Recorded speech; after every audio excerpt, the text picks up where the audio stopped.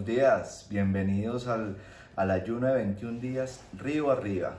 Estoy con mi esposa, vamos a compartirles el devocional de Mateo 5, 27 a 32. Entonces vemos que en Mateo 5 Jesús nos va venido mostrando que la justicia es algo que nace del corazón y que no es un mero acto externo de los hombres. Sin embargo, los fariseos consideraban que no matarás y no cometerás adulterio era tomado como algo, como actos externos. Pero vamos a ver cómo en Mateo 5, 27, 32 Jesús le dice que no es así y les instruye que estos mandamientos tratan más que de un acto externo, que tratan es con la actitud del corazón. Vamos a leer Mateo 5, 27 a 32. Ustedes han oído que se dijo, no cometerás adulterio pero yo les digo que todo el que mire a una mujer para codiciarla, ya cometió adulterio con ella en su corazón. Si tu ojo derecho te hace pecar, arráncalo y tíralo, porque te es mejor que se pierda uno de tus miembros y no que todo tu cuerpo sea arrojado al infierno. Y si tu mano derecha te hace pecar, córtala y tírala, porque te es mejor que se pierda uno de tus miembros, sino que todo tu cuerpo vaya al infierno. También se dijo, cualquiera que repudie su mujer, que le dé carta de divorcio, pero yo les digo que todo el que se divorcia de su mujer, a no ser por causa de infidelidad, la hace cometer adulterio y cualquiera que se casa con una mujer divorciada comete adulterio. Nos llama la atención como en el versículo 31 dice, también se dijo. Este también se dijo, ¿qué quiere, qué quiere decir? Dice, lo cual demuestra en el texto que le sigue que en el texto que le sigue está directamente relacionado con lo anterior, o sea, del 27 al 30. Entonces en estos versículos Jesús quiere lidiar con la lujuria en el corazón del hombre. Pero ¿qué es lujuria? Vamos a ver qué es lujuria. Dice que viene el latín luxury.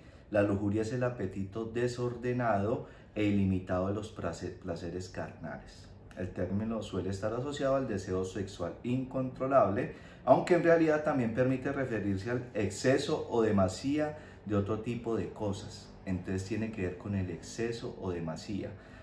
En este contexto lo vamos a ver sobre, sobre el deseo sexual, pero también ese exceso o demasía en cuanto puede ser ese exceso de masía en cuanto cuánto tiempo estamos permaneciendo en nuestro, en nuestro celular, en nuestro computador, es un exceso de masía, exceso de masía cuando no podemos parar de comer. Entonces vemos que también esto es lujuria. Entonces, la lujuria es lo que conduce a alguien a cometer el adulterio y a, a romper sus votos matrimoniales. Jesús acá va detrás de nuestro corazón. Pero ¿qué importancia tienen nuestros deseos? Vamos a ver qué importancia tienen los deseos. Dice, consideremos el, décimo mandamiento. Este mandamiento resume la importancia que Dios le imparte al tema. Dios dijo en Éxodo 20, 17 lo siguiente, no codiciarás la casa de tu prójimo, no codiciarás la mujer de tu prójimo, ni su siervo, ni su sierva, ni su buey, ni su, ni su asno, ni nada que sea de tu prójimo. Dios, Dios ya el mandamiento, el mandato de no cometer adulterio lo cual sería el resultado de codiciar la mujer. ¿De dónde viene el adulterio? De codiciar, de codiciar la mujer de, otro. Entonces vemos que la codicia es desear, desear las posesiones o las posesiones, la posesión o cualquier pertenencia de otras personas. Entonces vemos que la lujuria es un exceso y la codicia también es un exceso de estar queriendo lo de otros, las posesiones de otros sus, bienes, el carro, quiero el carro de este, quiero la casa de este, quiero eh, la mujer de este, ¿cierto? Entonces, o, la posición, qué bueno la posición en que está ese, eh, tal persona, qué bueno ese puesto, quisiera estar en el puesto de él, quisiera ocuparme. Queremos, eh, tenemos también codicia sobre la personalidad. Qué rico tener la personalidad de X o Y persona, o no la personalidad mía. Entonces Dios está llamando a evitar la, la codicia. Esto es importante. Vamos a ver unas ideas erróneas sobre el texto que leímos ahorita. Eh, y se manifiesta cuando la gente se pregunta, si ya cometí adulterio en mi corazón, ¿por qué, simplemente no llevar a cabo el, acto del adulterio? Entonces, si Dios considera la lujuria del corazón y el acto del adulterio de la misma manera, ¿por qué no llevarlo a cabo? Porque eso es justamente lo que Jesús quiere ayudarnos a evitar. Él no quiere que lleguemos a cometer el adulterio. Él quiere sacar esa lujuria y esa codicia en nuestro corazón para que no lleguemos a cometer el adulterio. No es igual el, estar deseando una cosa, un, objeto, un carro quizás, a robarlo, ¿cierto? Una cosa es el deseo, otra cosa es llegar a consumar ese, ese deseo. Veamos qué nos puede ayudar a vencer la codicia y por ende la lujuria en nuestro corazón. No fomentes la lujuria. Lo primero que debes hacer es no fomentar la codicia en tu interior. Habrás escuchado ese refrán de meterse en la boca del lobo. Si haces cosas que fomentan la codicia, estás metiéndote en la boca del lobo. ¿Qué tipo de películas ves? ¿Qué programas de televisión ves? Si cuando pasa una, una propaganda o un comercial insinuoso, ¿tú qué haces? ¿Lo cambias o lo sigues mirando? ¿Y con qué personas te estás relacionando? las personas te están llevando a la justicia de Dios o te estás llevando a, que las conversaciones y las acciones sean malas. Es por eso que Pablo le aconsejó a Timoteo, huye pues de las pasiones juveniles. Lo que haces y las personas con las que te relacionas o pasas tiempo te ayudarán y te perjudicarán en la búsqueda de la justicia. ¿Qué más podemos hacer para evitar esa lujuria y esa codicia? debemos de dar pasos drásticos, tenemos que ser radicales.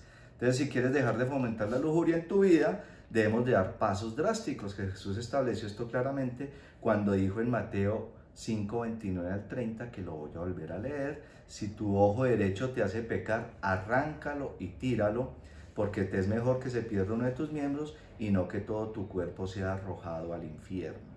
Si tu mano derecha te hace pecar, córtala y tírala, porque te es mejor que se pierda una de tus, de tus miembros, sino que todo tu cuerpo vaya al infierno. Pero entonces acá, ¿qué quiere Jesús? Jesús quiere que me saque el ojo, quiere que me corte la mano. Pues por supuesto que no. Jesús está utilizando una hipérbole. ¿Qué es una hipérbole? Es una exageración. ¿Para qué? Para que pongamos atención a esto, porque es muy importante y Jesús quería llamar la atención de nosotros con esta hipérbole. Entonces, ¿por qué la lujuria o codicia se encuentra en el corazón? Jesús está hablando de lo que es hacer en el sentido espiritual con el objeto que, te es de tropiezo. ¿Qué objeto te es de tropiezo a ti? Quizás es el internet, quizás el computador, quizás es tu celular el que te, con lo que estás viendo cosas que no debes de ver, quizás la televisión. Entonces Jesús lo que te está diciendo, ¿te importa más la pornografía en el internet que el cielo? ¿Te importa más un estilo de vida moral eh, que la vida eterna? ¿Te importa más las amistades impías que estar con el, en el cielo con los creyentes? Si tu respuesta es no, entonces corta, corta con esa amistad inmoral. Tenemos que cortar con las amistades inmorales jóvenes, si tienen alguna relación de noviazgo y no te está llevando a, algo puro, corta con eso. Si es el internet que me está llevando a ver pornografía, corta con eso, por favor. Corta con toda conducta inmoral, corta con todo aquello que te lleva al pecado. Eso es lo que Jesús nos quiere decir. Corta cortar, porque es que si saco mi ojo, si corto mi mano, en todo caso la lujuria va a estar en mi corazón. Entonces debemos de cortar con todo esto que nos provoca la lujuria. Mi amor, y ahí viene el arrepentimiento. La palabra arrepentimiento significa cambiar de opinión, cambiar de rumbo, cambiar de dirección. Cuando inviertes la dirección de tu vida, este es el tipo de cambio que la Biblia nos sugiere. En Hechos 8:22, Pedro habla con denuedo y le dice a un hombre, arrepiéntete de esta tu maldad y ruega al Señor que si es posible se te perdone el, intento de tu corazón, o sea, sus pensamientos. Debes admitir que los pensamientos lujuriosos están mal y pedir perdón por contemplarlos en el corazón y en la mente.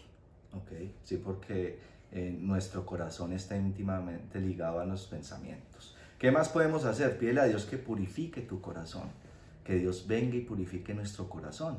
Entonces, si la lujuria eh, atrapa nuestros pensamientos, en los pensamientos de nuestro corazón, entonces necesitas un corazón purificado. En Mateo 5.8 nos dice, bienaventurados los limpios de corazón, pues ellos verán a Dios. Jesús instruyó que necesitamos un corazón recto ante Él. Y la, por último dice, elige dar muerte a la carne. Tenemos que dar muerte a la carne, no escoger y voy a matar mi cuerpo. No, no, no, por favor, no es eso. Pablo explica la realidad de la batalla y cómo ganarla. ¿Cómo ganamos esa batalla? Nos lo dice en Romanos 8:13. Dice, porque si ustedes viven conforme a la carne, habrán de morir. Pero si por el Espíritu hacen morir las obras de la carne, vivirán. Aquí es donde experimentamos la vida eterna, la vida que se adquiere cuando ha sido eh, liberado del poder de la naturaleza pecaminosa, cuando entregamos, nos entregamos al Espíritu Santo y vivimos por el Espíritu y no por la carne. Pero entonces ahí hablamos de por qué habla Jesús del divorcio en el contexto de la lujuria. Y entonces es muy simple. Si resuelves tu lujuria, nunca le serás infiel a tu cónyuge y así nunca tendrás que considerar el divorcio. Si permites que Dios reine en tu vida, experimentarás la satisfacción de Dios y nunca la buscarás fuera del matrimonio. Es por esto que necesitas controlar la lujuria en tu corazón. Sin embargo, con respecto al divorcio, Jesús claramente dijo que no se podía usar una razón cualquiera. Bueno, ¿por qué dice que no se puede utilizar una razón cualquiera? Los fariseos estaban abusando de esto. ¿Con qué abusaban ellos? Ellos eh, cuando se cansaban de su esposa, ¿qué era lo que hacían?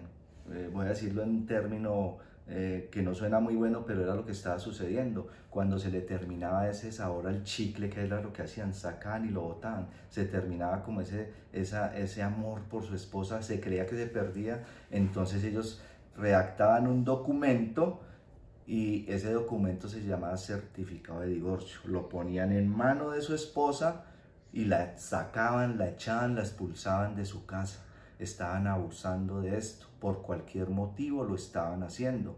Es lo que tristemente estaba sucediendo hoy, amor, con todos estos divorcios que por incompatibilidad, disque de caracteres, eh, caracteres, entonces ya, ya nos estamos divorciando porque es que no me entendió por X o por Y razón. Entonces es lo que no quiere Jesús, que por cualquier motivo nos estemos divorciando. Como se los dijimos ahorita, en Mateo 5, 31, 32 dijo, pero yo les digo que todo el que se divorcie de su mujer, a no ser por causa de infidelidad, la hace cometer adulterio.